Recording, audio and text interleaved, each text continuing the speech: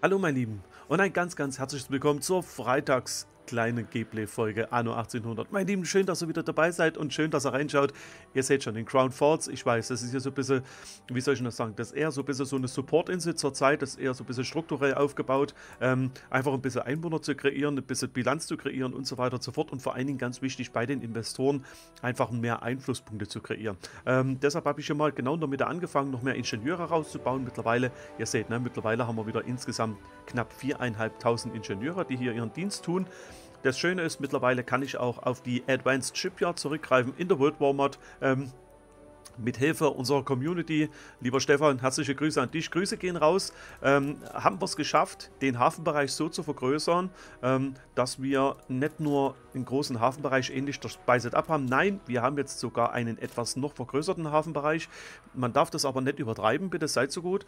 Ähm, wenn man da diese Hafenbereiche so immens vergrößert, dass man zum Beispiel fast an die andere Insel ragt, kann das sein, dass Schiffe auf der eigenen Insel nicht mehr anlegen. Ihr dürft das nicht vergessen. Denkt dran, nicht nur euer Hafenbereich wird größer, auch die eurer Gegner. Und das ist ganz, ganz gefährlich, wenn ihr zum Beispiel ganz nah an einer anderen, an einer zum Beispiel gegnerischen Insel ähm, seid, dann müsst ihr wirklich, wirklich aufpassen, dass er da nicht irgendwie kollidiert, weil die Schiffe laufen dann einfach nicht mehr an. Ne? Die, die löschen ihre mehr, die laden keine neuen Waren mehr auf und so weiter und so fort.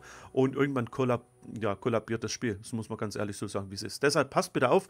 Mein, mein Harbor Area ist zurzeit eingestellt bei 140. Andere aus der Community haben das mit 180 gemacht, andere aus der Community, den reicht 120. Ich versuche ein gesundes Mittelmaß zu finden. Die Spice It Up hat, glaube ich, auch 120 oder so. Also Entschuldigt bitte, das ist schon ein ziemlich, ziemlich großer Bereich. Was machen wir heute, mein Lieben? Also ich habe ja in der Zwischenzeit beim Jean von Thun, also der geht mir ja so ein ganz kleines bisschen auf die Nerven. Ne? Ähm, hier ist noch ein Schiff, was hier übrig ist von ihm. Alles andere haben wir hier soweit versenkt, soweit es ging. Und mittlerweile, das ist hier meine große Flotte. Ihr seht schon, ne, auch hier am Start die SMS Schleswig-Holstein. Ähm, ein sehr, sehr großes, ja, ein wirklich, wirklich pompös großes Schiff. Da haben wir noch ein, zwei Items mit reingepackt. Die packen wir dann hier so ein bisschen um auf die anderen Schiffe. Ähm, sehr viele Items sind leider sehr viele Items sind leider, leider dem letzten Seegefecht zum Opfer gefallen. Deshalb habe ich es ja mal so gemacht. Ich habe ja auch noch, ich habe ja auch noch ein paar, wie soll ich das sagen? Ich habe ja auch noch ein paar Manticore stehen. Ähm, ganz einfach deshalb als Präventivmaßnahme, sobald die hier wieder auftauchen, die bösen Piratenschiffe, dann können wir hier mit den Luftschiffen erstmal entgegensteuern und können wenigstens ein paar Seeminen platzieren. Ne, das ist ganz, ganz wichtig. Und ich würde ja, ich würde es ja am besten so machen, im Laufe des Spieles würde ich ja immer, immer weiter diese Seeminen komplett um diese Insel hier rum machen. Also beim La Fondune komplett die mit Seeminen komplett verminen, so damit die, wenn die es geschafft haben, zum La Fondune zu fahren, dass sie halt einfach vor seinem Hafen explodieren. Ist halt so. Moment. Entschuldigung. So.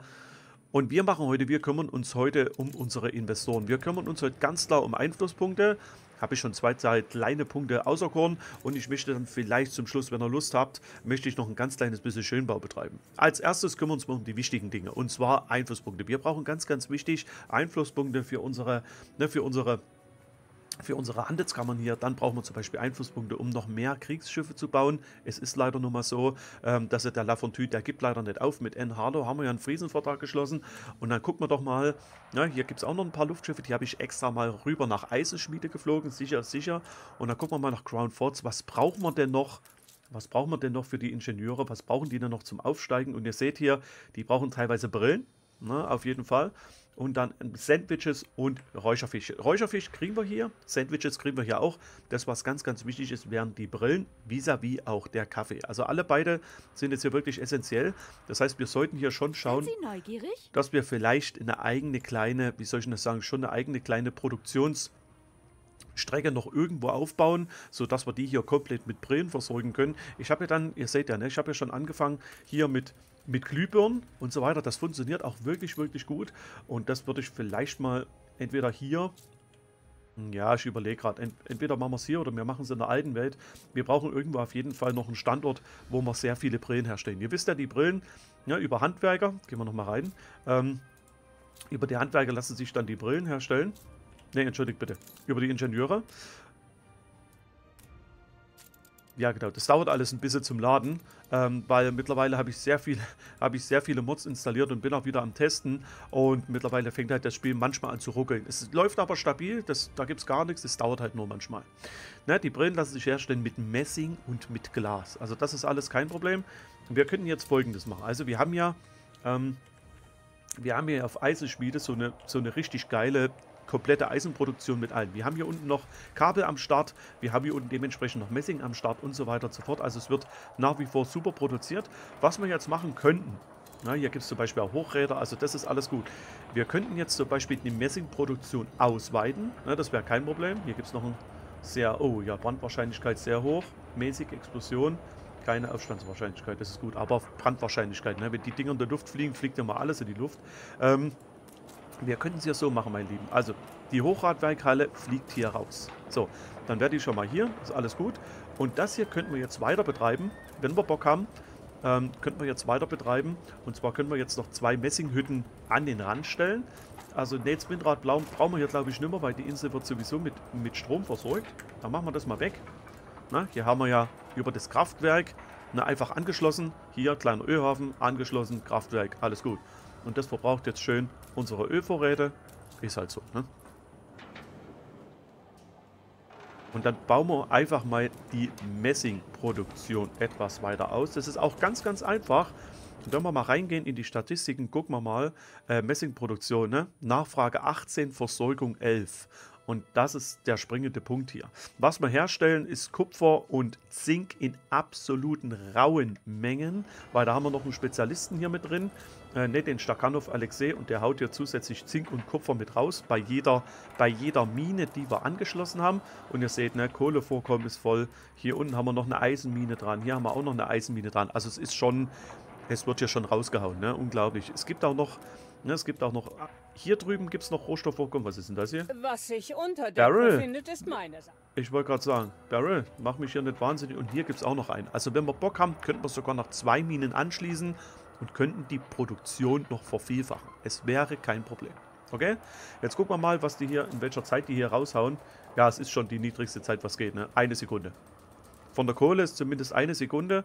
Gucken wir mal rein in Eisen, eine Sekunde. Also, ihr seht, die Produktionszeit ist hier immens. Ähm, es geht vom Eisen, vom Eisen geht es schon gar nicht schneller. Gucken wir mal, 180 Tonnen Eisen werden hier hergestellt. Wahnsinn, oder? Wahnsinn. Wenn wir noch mehr wollen, müssten wir halt mehr Minen anschließen. Oder über die Speicherstadt. Oder, oder, oder. Also es gibt da noch ganz, ganz viele Möglichkeiten.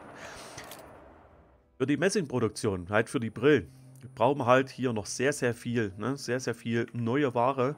Ähm, wir könnten es auch so machen, dass wir die Messingproduktion hier komplett auslagern und könnten die zum Beispiel hier mal anfangen. Ne, hier oben gibt es die großen Hochöfen, hier gibt es die, hier gibt's die Motorenfabriken, also das ist alles gut. Ich würde jetzt sogar vorschlagen, wisst ihr, was wir machen?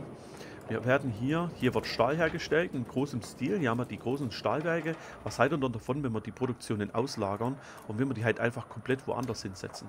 Zum Beispiel hierher. Da könnte man zum Beispiel dafür sorgen, dass wir hier unten zum Beispiel gleich nochmal welche hinbasteln.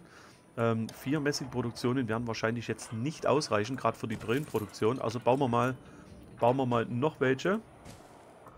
Jetzt gibt es halt hier, ne? Jetzt gibt halt hier jede Menge Smog. Ihr seht, Attraktivität 65 Punkte. Die Zufriedenheit wird somit auch sinken. Das heißt wieder erhöhte Aufstandsgefahr und so weiter und so fort. Ja, es ist halt alles nicht so einfach hier auf Eisenschmiede. Aber ich habe schon, hab schon vielleicht eine Idee, wie man hier die Attraktivität wieder erhöhen kann, wenn man hier hinten ein kleines bisschen mehr Platz hätte und wir die Köhlereien wegpacken. Hier, schaut mal. Die Köhlereien einfach hier wegnehmen. Dann würde ich hier tatsächlich ein kleines Museum stellen. Ich würde ein kleines Museum stellen und wird so gut es geht hier äh, mit ein paar richtig geilen Attraktivitäts-Items wenigstens die Stufe 2 wieder erreichen wollen oder die Stufe 3.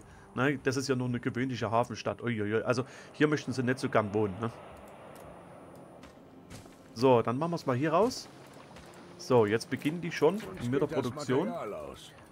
20 Sekunden hätten wir Produktionszeit. Das ist im Prinzip noch gar nichts für die Messinghütte. Ne? Also wir haben garantiert irgendwo Items. Wir haben garantiert irgendwo Items, ähm, wo wir die Messinghütte boosten können. Messinghütte. Man müsste auch richtig schreiben, dann wäre das alles schön. Unbekannt ausgerüstet, nur auf Eisenschmiede. Gucken wir mal, Korn kann man nichts da, nichts da. Santos World. Hätten wir zum Beispiel die Angela MacIver, die könnten noch Elektrizität haben wir. Beeinflusst alle Produktionsgebäude. Brauchen wir erstmal nicht. Hier hätten wir zum Beispiel den Flammenofen. Alle Eisenhütten und Schmieden würden hier damit um 50% Produktivität steigern. Aber Achtung, fängt noch schneller an zu brennen. Weniger Arbeitskräfte erforderlich. Alle Eisenhütten und Schmieden. Ja, ne, ist alles gut. Also das sind ja hier die Messinghütten. Ähm, ich weiß nicht, ob die mit allen Eisenhütten, das Hütten so gemeint ist, dass er die Messinghütte mitgestaltet wird. Ich glaube es ich zwar nicht, aber warten wir mal ab. Hier gibt es noch die Schreibmaschine. Hier gibt es noch den Ferras. Gucken wir mal bei allen Inseln vorbei. Vielleicht haben wir Glück. Alle Eisenhütten und Schmieden. Hier gibt es gigantische Schloteverordnung. Das ist auch nichts. Und so weiter und so fort. Also direkt für Messinghütten haben wir leider nichts da. Jetzt gucken wir mal rein ins Unbekannte. Stahlindustrie und Messinghütte. Schaut mal, das ist der Colonel Joseph Potts, Experte der Schmelzen. Der könnte zum Beispiel unsere Stahl- und Messinghüttenindustrie auf jeden Fall steigern. 100% Brandgefahr, 100% Explosionswahrscheinlichkeit weniger. Es gibt mehr Attraktivität. Und es gibt jede fünfte Tonne noch ein bisschen Stahlträger dazu. Ähm, einziger Nachteil an dieser ganzen, einziger Wermutstropfen, 25% Wartungskosten erhöht. Jetzt überlegt mal, wenn der inselweit zum Einsatz kommt, dann haben das alle Gebäude mehr Wartungskosten. das ist ein ganzes Viertel, das ist schon echt viel. Eisenhütten und Schmieden ist leider nichts. Alle Produktionsgebäude, das könnten wir nochmal vorstellen. Könnten wir uns nochmal vorstellen. Ähm, hier gibt es noch ein Buch, nochmal alle Produktionsgebäude. Ne? Mehr Wartungskosten, weniger Brandgefahr. Was ich hier. Nur. Wir befinden uns wow. in bester Gesellschaft. Ah, okay, der Papst Lucius der Vierte, der Visionär. Ist ja geil. Okay, danke von Crown Falls. Ähm, wie gesagt, wenn wir den hier hätten, den Colonel, schauen wir mal Item Herkunft. Forschungsinstitut. Ne? Gibt es im Forschungsinstitut oder vielleicht beim Händler, beim Eli. Äh, klicken wir uns mal ein bisschen runter, vielleicht haben wir Glück und wir finden irgendwo den Colonel. Ähm, könnten wir uns vielleicht mal ganz kurz die Arbeit machen, wenn ihr Bock habt. Gehen wir rein zum Eli. Steht da irgendein Schiff davor? Nein. Okay, dann nehmen wir uns mal ein Luftschiff, parken das gerade mal hier. Und ihr wisst ja, mit diesen, mit diesen schönen Modifications haben wir jetzt deutlich, deutlich größeres Portfolio. Hier an Spezialisten können wir dann einfach mal runterscrollen und vielleicht haben wir Glück und wir finden den Typ. Ich glaube es zwar nicht, bei meinem, bei, bei, meinem Glück ist das immer. Bei meinem Glück ist das tatsächlich immer, den kannst du vergessen, den findest du eh nicht. Aber egal, wie gesagt, die Brillenproduktion, die werden wir jetzt auf jeden Fall steigern. Beziehungsweise werden wir die jetzt richtig ins Leben rufen. Hier gibt es nochmal den Ferras ist noch drin und so weiter und so fort. Hier gibt es viele, viele, äh, für die Luftschiffe gibt es hier viel drin. Hier Rathaus, Gelehrtenhaus und Gelehrtenhaus, Zusatzforschungspunkte, richtig geil. Äh, weniger Hibiskus-Tee, Wahnsinn. Äh, hier gibt es nochmal die Angela MacIver und so weiter und so fort. Auf jeden also ich denke, das ist ein Spezialist, ähm, den wir so noch nicht haben. Hier gibt es wieder den Matakaime, einer meiner, einer meiner Lieblingsspezialisten. Hier den Stakhanov, und so weiter und so fort. Also mittlerweile gibt es hier ganz, ganz viele, äh, die wir uns hier aussuchen können. Alle, alle Wohngebäude der alten Welt, ähm, ne? Einwohner sorgen für Zusatzeinnahmen und so weiter und so fort. Also den könnte man zum Beispiel in Crown Forts könnte man den stationieren. Das war der absolute Brecher. Ähm, gucken wir mal noch rein. Vielleicht findet man ihn doch irgendwo. Hier unten kommen dann teilweise nur noch äh, teilweise nur noch diese legendären hier unten noch zum Einsatz. Wartet mal ab. Ja, die haben wir, die kennen wir alle schon. Helga Hoggert, Waffenmeisterin der Luftschiffplattform, beeinflusst alle Ankerplätze, weniger Wartungskosten, 200% erhöhte. Wow. Okay. So, dann gucken wir mal. Also, der ist leider immer noch nicht dabei.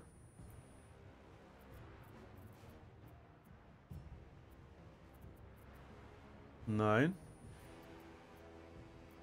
Das sieht doch ganz komisch aus. Der hat ja so eine Art Bügelfalte gehabt, ne? Das sah, nee, vielleicht nicht so aus, aber ja, ungefähr so. Aber ihr seht's, ne? Das sind alles nur noch legendäre Spezialisten. Und wenn wir da viel, viel Glück haben, haben wir, sehen wir eine vielleicht. Ähm, übrigens, wenn ihr bis hierher geschaut habt und ihr wisst, wo es diesen Vogel gibt, in welcher Mod dieser Vogel auftaucht, würdet ihr mir vielleicht Bescheid sagen oder würdet ihr bitte in die Kommentare schreiben, wo es diesen Vogel in welcher Mod gibt.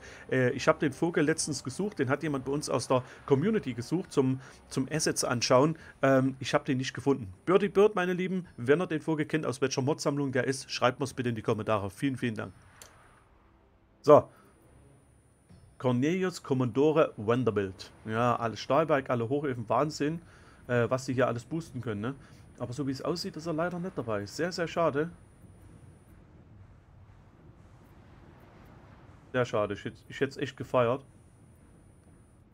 Na, vielleicht finden wir das demnächst mal noch. Hier, schaut mal. James Carson Hickok, Chief Marshal Commissioner of the Crown Bay Company. Mit mehr Experte der Schwede. Da ist er. Mein Lieben, da ist er. Der Colonel Joseph Potts. Da ist er. Ich hoffe mal. Ich hoffe mal, dass wir...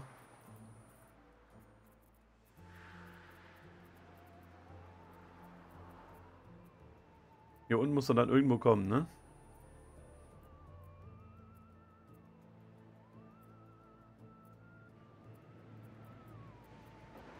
Hier.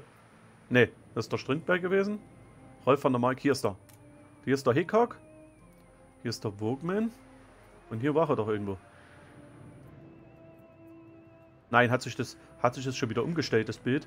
Ach, ich glaub's nicht. Ja, mittlerweile, mittlerweile ist es so. Wir hatten den noch, wir hatten den noch gerade eben. Nein. Das war der mit der Bügelfalte. Hier. Potts. Oh, okay. Okay, mein Lieben. All Stahlindustrie und Messinghütte komplett. Das heißt, wir werden hier mit unserem wir werden hier mit unserem Luftschiff wieder nach Eisenschmiede zurückfliegen. Dann werden wir den hier schon mal ausrüsten. Dann packen wir den hier rein. Überlegen wir gerade mal. Alle, alle Stahlindustrie. Alle. Und Messinghütte. Jetzt überlegt euch mal, alle Stahlindustrie. Wir haben hier noch einen frei. Hier oben ist der Ferras zurzeit drin, der Stakhanov Alexei und der Henry Ford. Ähm, alles sind super mächtige Items und äh, beziehungsweise Spezialisten. Und jetzt hauen wir hier noch den rein.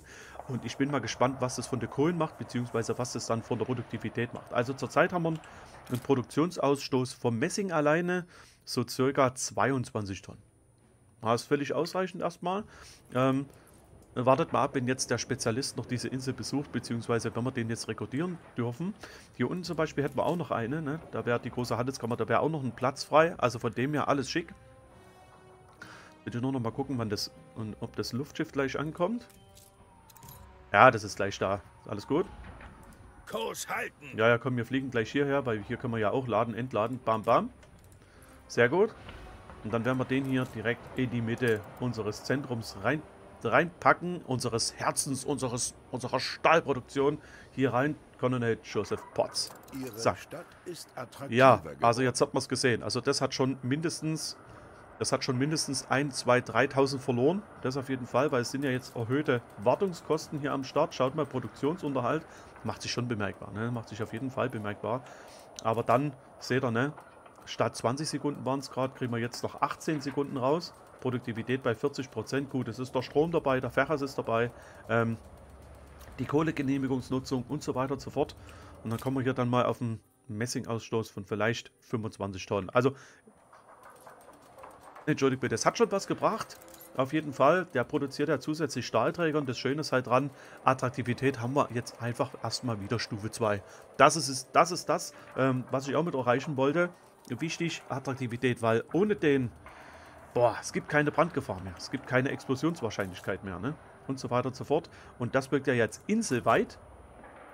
Ne? Explosionswahrscheinlichkeit, Brandgefahr. Normalerweise ist es schade, dass die Feuerwehren hier das nicht anzeigen, weil die haben halt immer noch eine sehr hohe Brandwahrscheinlichkeit, dass halt die Spezialisten mit ihren Fähigkeiten da nicht halt einbürgen, aber dann ist es halt so. Ne?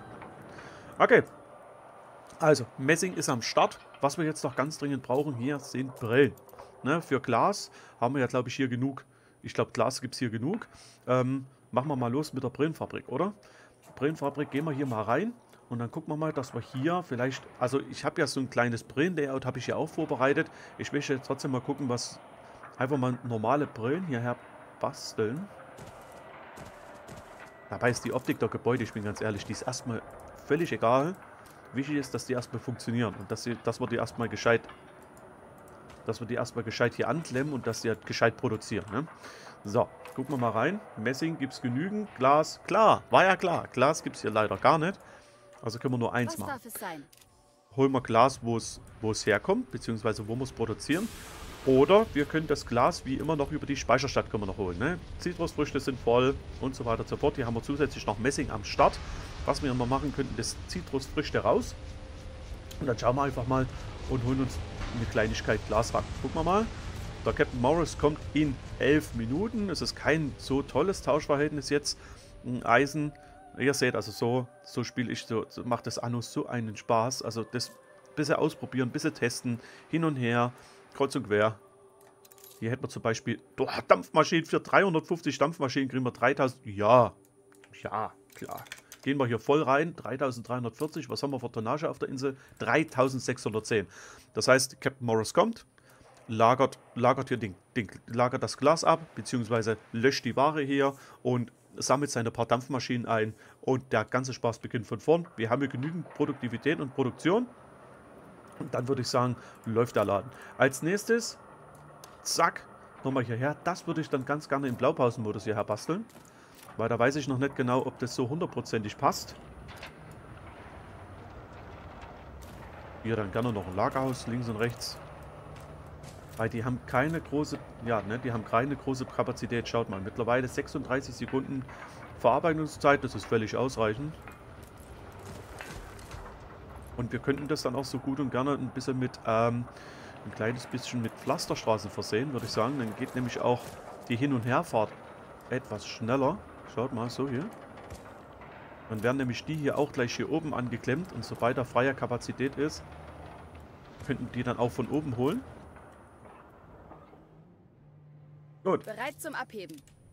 Ja, jetzt müssen wir noch ein bisschen weiter runterfahren. Dann holen wir hier gleich das Glas ab. Das ist so ein mächtig großes Luftschiff, ne? So ein mächtig großes Teil. Der absolute Wahnsinn. Also zur Zeit, wo ich, äh, zur Zeit habe ich wirklich so ein, so ein Fable für diese Luftschiffe. Ich weiß auch nicht warum. Äh, ich spiele unheimlich gern damit. Immer der Nase nach. So, und einige haben mich schon gefragt, Sando, warum hast du hier diese acht Slots in diesen Luftschiffen und diese sechs Item-Slots und so weiter und so fort. Vor allen Dingen für jedes Luftschiff. Ich kann es euch sagen, weil das ein Bug von mir ist. Ähm, diesen Bug kriege ich leider aus dem Spielstand nicht mehr raus. Äh, in jeder Art und Weise. Das war mal eine Modification dass wir da einfach mehr, Lagerple äh, mehr, mehr Slots kreiert haben für die verschiedenen Luftschiffe. Da gab es, glaube ich, pro Luftschiff nochmal zwei normale Ladeslots dazu und einen Item-Slot. Und ob er es glaubt oder nicht, ähm, diese Mod, die gibt es ja schon lange nicht mehr. Aber es ist halt leider so geblieben. Das ist halt sehr, sehr schade. Ähm, da muss ich halt damit leben. Ne? Jedes, jedes Luftschiff hat es bei mir, ne? auch hier die kleinen. Ja, und dann ist man halt schon gefragt, ja, warum baust du dann nicht nur kleine Luftschiffe? Die sind doch vom Unterhalt deutlich günstiger und die brauchen nicht so Einflusspunkte. Ich weiß es, ich weiß das, aber ich würde halt nicht nur kleine Luftschiffe bauen wollen, die dieselbe Kapazität haben, sondern ich würde halt auch mal die großen bauen wollen, weil die großen sehen unheimlich mächtig und sehr, sehr schön aus und ähm, die dürfen bei mir auch nicht fehlen. Ne? Das wäre ja schade drum. Dann hätten wir auch nur ein oder zwei Luftschiffe auswählen können und dann wäre es das auch gewesen. Aber den Bug kriegen wir halt leider erstmal nicht mehr raus. Weiß ja nicht, ob der jemals wieder rauslöschbar ist. Ich habe mal bei meinen anderen Spielständen geguckt, bei meinen anderen älteren Spielständen, wo einige noch funktionieren, da ist das auch. da ist das echt auch.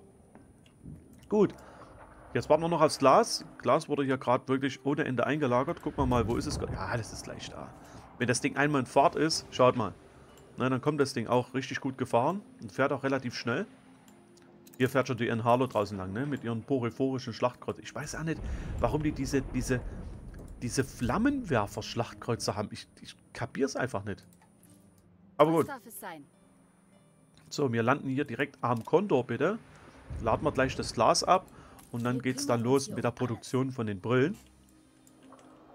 Wie gesagt, Produktion von den Brillen ungefähr 10 Tonnen hätten wir jetzt. Und jetzt gucken wir mal, ob das pari-pari aufgeht mit, mit Crown Falls. Und dann würde ich dann gerne ein Schiff schon rekrutieren. Ja, auf jeden Fall. Dann würde ich dann sehr, sehr gerne schon ein Schiff rekrutieren. Und dieses Schiff wäre dann einfach unser Glas von Eisenschmiede hoch nach, äh, unsere Brillen von Eisenschmiede hoch nach Crown Falls. Hier haben wir noch eins, was frei ist. Das ist gut von der letzten Schlacht. Ne, gehen wir mal ein. Die alte Welt sind wir sowieso. Eisenschmiede, schaut mal, ne? Diese schwarzen, diese schwarzen Silhouetten auf der Karte. Das sind nur N-Halus-Schiffe. Ja, das sind nur N-Halus-Schiffe. Nichts anderes. Ich weiß nicht, was die machen will, aber ja. Cap Trelawney, ab nach Crown Falls und dann laden wir halt einfach die ganzen Brillen dort wieder ab. Und dann hätten wir dann, dann geht es dann los mit der Produktion. Das passt. Du bist angelandet, Glasproduktion ist da, beziehungsweise die Gläser sind da die Brillenproduktion kann eigentlich somit starten. So, mein Lieben, also Schiff ist, das Schiff ist gechartert. Wir fahren, wir fahren jetzt die Brillen hin und her. Das ist kein Problem. Spätestens in der nächsten, in spätestens beim nächsten Mal hin und her fahren. Jetzt wird, glaube ich, nichts produziert, weil wir müssen halt erstmal schauen, dass wir halt ein bisschen Glas hier hin und her kommen. Ähm, ich sage mal, spätestens beim nächsten Mal.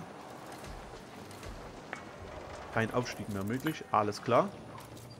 Spätestens beim nächsten Mal ist es dann tatsächlich so, dass wir dann auf die eine oder andere Tonne Brillen zurückgreifen dürfen. Das ist schon mal schön. Wir produzieren hier über, das heißt sieben Tonnen können wir dann pro Minute, können wir dann gut und gerne benutzen, um zum Beispiel in der Speicherstadt noch so ein bisschen was zu erhandeln, wenn wir das wollen.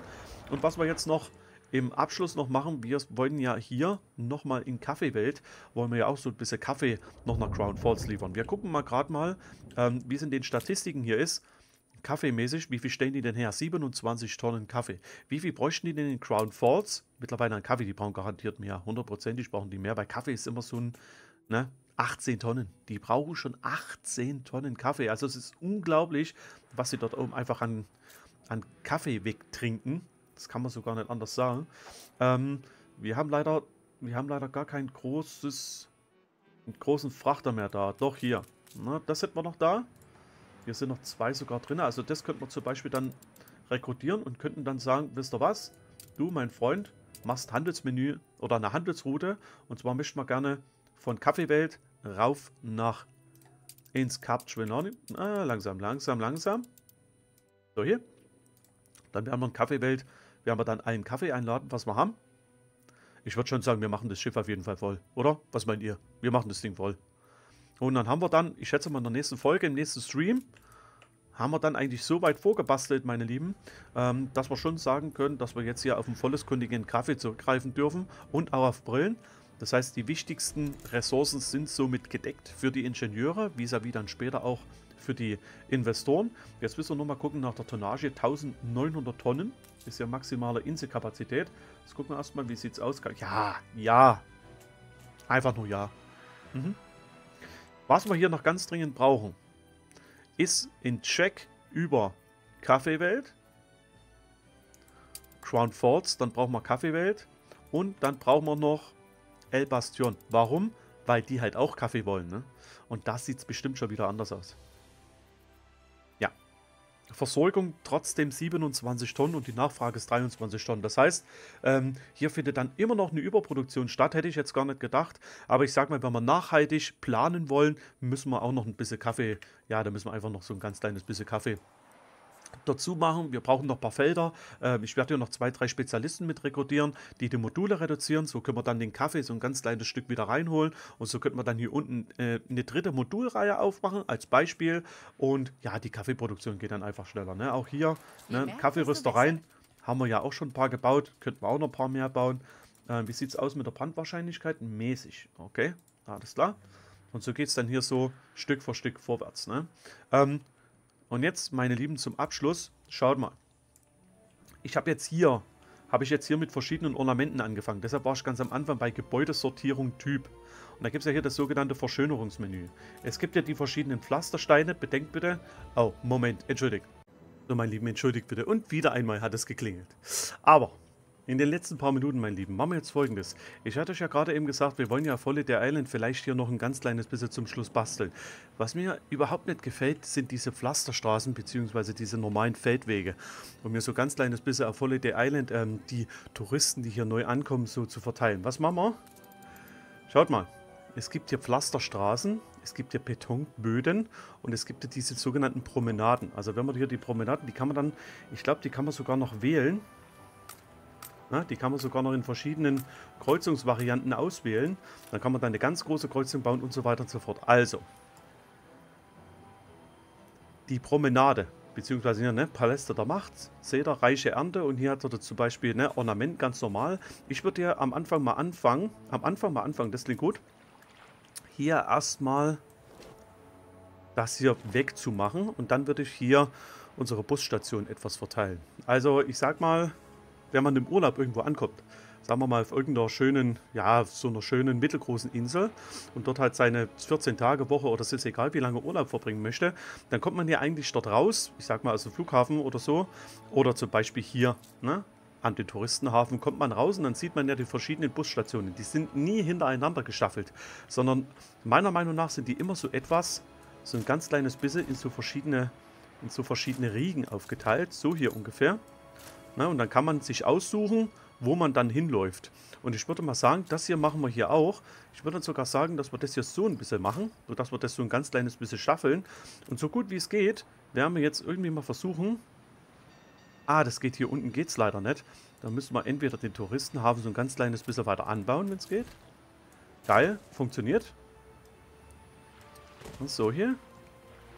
Und dann würde ich das halt einfach, einfach so ein bisschen außen rum bauen, ne? so ein ganz kleines bisschen. So würde das dann für mich schon viel schöner aussehen.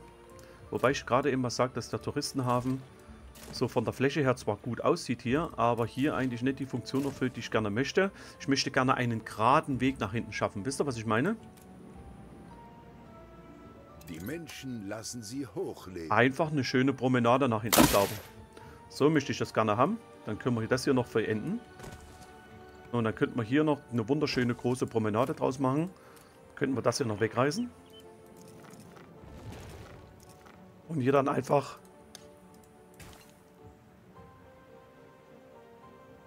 und da dann einfach noch ein, eine Bushaltestelle einfügen. So würde, das, so würde das für mich viel, viel Sinn, viel, viel mehr Sinn ergeben. So könnte man zum Beispiel sagen, das ist die Bushaltestelle für da, das ist die Bushaltestelle für da und für da. Und das Schöne ist dran, man kann denen hier auch die Namen vergeben. Ne, hier oben, unser René hatte ja damals, äh, hatte ja damals hier ähm, auch so eine schöne Idee. Ich denke mal, ich werde das dann im Stream umsetzen. Ähm, da werden wir dann diese Bushaltestellen, werden wir dann nach den verschiedenen Hotelfleckchen nennen. Ne, die können wir dann hier ausbauen. Ich habe das hier nur mit, ich habe das hier nur erstmal mit so kleinen Wegen, habe ich das erstmal markiert, damit wir ungefähr mal sehen, wo wir hin müssen. Hier zwischendurch das Museum, sehr, sehr geil. Und das müssen wir erstmal alles ins Leben rufen. Ne, die Wege müssen wir erstmal ausbauen. So sieht es dann aus. Und so fahren halt dann die Busse durch die Gegend und so können wir dann sagen, hier das Grand Hotel. Ich bin zwar keine Expertin, aber sind Straßen nicht die Grundlage eines jeden Gewerbes? Richtig. Ja, und so weiter und so fort. Ähm, passt schon. Jetzt frage ich mich bloß, warum es hier keine... Ach, ja, alles gut. Wir haben keine Anbindung an den Hafen, weil die auf der rechten Seite fehlen. Gut, dann machen wir hier mal eine Anbindung ran. Dann würde ich sagen, machen wir hier noch eine schöne große Promenade hin. So gut wie es geht. Die Feldwege hier auf der, auf der Ostseite, die werden jetzt mal hier werden jetzt mal getickt. So hier. So, dann machen wir hier einfach noch einen Weg ran. Die werden wir jetzt fertig machen. So, und jetzt haben die auch wieder Verbindung ne, ans Konto. Also alles soweit so gut. Den Weg, den werden wir dann, den werden wir dann noch wegmachen.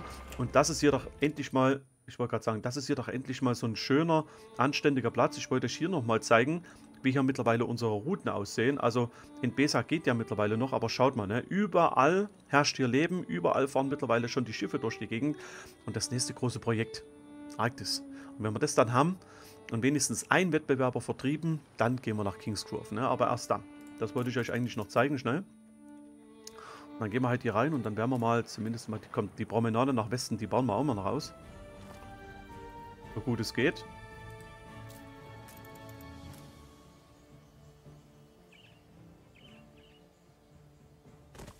So hier.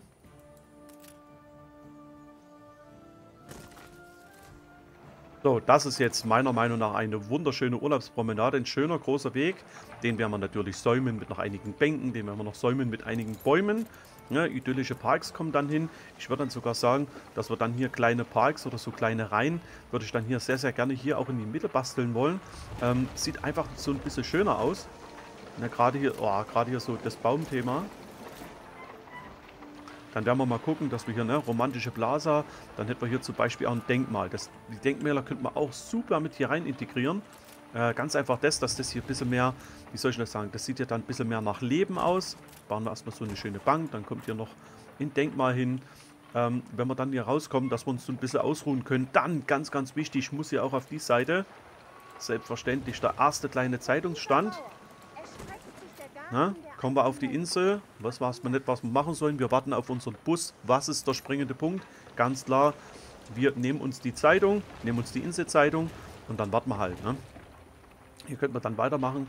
Ähm, ich, möchte mir dann eigentlich, eigentlich mal die anderen Bänke schnappen. Mal gucken, ob es die irgendwo... Malerischer Park, Reiterstatuette, Zäune, Wahnsinn, was es hier alles gibt. Grand Gallery hätten wir hier auch noch so ein bisschen am Start hier. Romantischer Park. Das Fenster da drüben. Ne, hier Gartenbänke. Oh, so wunderschön. Zack. So, und mit den Gartenbänken, oh, die sind sogar schön aufgebaut, ähm, und mit den Gartenbänken können Sie sich halt mit der Zeitung können sich dann hier hinsetzen und können eigentlich mal ganz, ganz entspannt hier auf ihre Busse warten. Und in der Zwischenzeit, wisst ihr, hier vorne, machen wir links und rechts, wenn die hier rauskommen, dann müssen wir doch erstmal, dann ist doch wichtig der erste Eindruck der Insel. Oder was meint ihr? Wenn die rauskommen, erster Eindruck der Insel, das heißt, wir müssten dann hier schon ein ganz kleines bisschen was Grünes hinbasteln. So hier, dass die wenigstens erstmal rauskommen und sagen, ja, hier bin ich angekommen, hier ist Urlaub, hier ist alles schön. Und das hier zum Beispiel könnten wir auch noch ein ganz kleines bisschen einzäunen. Also wir könnten dann, es gibt ja dann irgendwo diese Zäune. Ah, hier gibt es zum Beispiel auch Hecken. Also das müssen ja keine Zäune sein. Ja, hier. Sogar mit integrierten Bänken. Ja, dann könnten wir das hier einfach mal so ein bisschen ziehen. Sehr, sehr gerne bis hierher zum Beispiel. So, schaut mal. Dann hätten wir hier schon so eine wunderschöne Hecke gezogen. Mit allem drum und dran. Das könnten wir sogar dann hier bis zum Besucherhafen könnten wir das noch sehr, sehr gerne ausbauen. Schaut mal, wie sich das dann automatisch alles ein kleines bisschen, alles so ein ganz kleines bisschen mit aufbaut. Finde ich sehr, sehr schön. Und dann machen wir das ja auch noch. Dann ziehen wir mal die Hecke und dann haben wir schon wieder ein ganz kleines Stück von Holiday Island verschönert. Ein ganz kleines Stück hier bewohnbarer gemacht, sodass halt immer, immer mehr Touristen, hoffe ich mal, dann in der nächsten Zeit immer mehr zu uns kommen, immer mehr uns besuchen und ähm, es dürfen selbstverständlich dann auch hier diese Springbundgärten und so weiter und so fort. Das darf hier alles nicht fehlen. Ähm, dahinter zwischendurch, wo halt die Busse dann auch so vorbeifahren, ganz klar. Immer so kleine Ornamente setzen, das gefällt mir richtig gut. Ne, kleine Gärten als Anlehnung, dann könnten wir hier nochmal Gartenbänke setzen hier auf der Seite. Ne? Gerade an den Bäumen dran. Dann hier zum Beispiel an der Ecke, kommt immer gut, so Gartenbänke direkt an der Seite. Hier auch, ne? Sehr schön. Also, gefällt, also mir gefällt es mittlerweile sehr, sehr gut, obwohl ich kein absoluter Schönbauer bin. Ich bin offen und ehrlich. Aber das hat schon so ein bisschen Stil. Also das hat echt schon so ein bisschen einen kleinen, einen kleinen Ferientouch, so einen kleinen Urlaubstouch hat es schon. Na, vor allen Dingen in Verbindung, die Pflastersteine mit, mit Verbindung mit immer so ein bisschen grün. Gefällt mir sehr gut. Hier noch ein paar Gartenbänke hin. Sehr schön. Sehr, sehr schön. Okay, meine Lieben, dann würde ich sagen, bis hierher ganz, ganz herzlichen Dank fürs Zugucken für die Freitagsfolge Anno. Mal ein bisschen andere gewesen. Ähm, hat mir sehr viel Freude bereitet, vor allen Dingen hier das auch mit Schönbauen zum Schluss. Ähm, Wenn es euch gefallen hat, würde ich mich riesig freuen, wenn ihr auch in der nächsten Folge hier wieder mit dabei seid. In der nächsten Folge versuchen wir mal beziehungsweise im nächsten Step versuchen wir mal ähm, das erste Hotel hier ein ganz kleines bisschen zu verschönern. Gerade hier vorne Gartenanlagen und so weiter und so fort. Auch ein paar Gartenbänke mit integrieren. Ähm, ich sag mal, diese großen Reiterstatuetten, die sehen gar nicht so schlecht aus, muss bloß alles ein bisschen weiter raus. Wirkt mir, wirkt mir ein ganz kleines bisschen noch zu zugebaut. Aber das schauen wir dann mal. Und ähm, wir brauchen ja noch die großen, die großen Gärten. Die müssen wir dann auch noch irgendwo mal schauen, ähm, dass wir die haben. Ähm, diese großen Gartenanlagen. Habe ich gerade gemeint. Äh, wo waren die gerade? Irgendwo, irgendwo müssen die gewesen sein, die großen Gartenteile. Das waren so riesengroße, wunderschöne äh, Gartenanlagen. Ich weiß gar nicht, wo die hier drin sind. Also ich habe ja, ich versuche die ganze Zeit mal ein bisschen mit, dem, mit, der, mit, der, mit der anderen Gebäudesortierung zu arbeiten, aber ich komme da damit echt noch nicht klar. Ne? Also, ja. Hier hätten wir dann zum Beispiel Parks. Hier hätten wir Städte. Ne? Und hier hätten wir dann im Prinzip die Industrie als Ornamente. Ähm, was mir zum Beispiel, ne, was mir hier richtig gefällt, wäre dann die Stadt. Hier gibt es dann Unterhaltung oder schaut mal, ne, hier gibt es dann die Bepflanzung und hier gibt es die Gärten. Genau, hier gibt es die Hibiskusgärten. Das wollte ich euch eigentlich noch zeigen zum Abschluss. Da können wir dann auch so ein kleines Thema mit hier einbauen. Wenn wir das möchten, so als Eingangsbereich, schaut mal, so als Eingangsbereich hier, ne, so Gärten. Aber Achtung, das ist nur, das sind nur Ornamente. Wir brauchen trotzdem noch Wege außenrum um an die Hotels zu kommen. Das heißt, die Gärten können wir schön in der Mitte setzen, ist kein Problem. Aber Achtung, das gilt nicht als Straße, das darf man nicht vergessen. Okay, meine Lieben, dann wie gesagt, herzlichen Dank fürs Zugucken. Ich wünsche euch ein schönes Wochenende. Bis zum nächsten Mal. Ciao, ciao.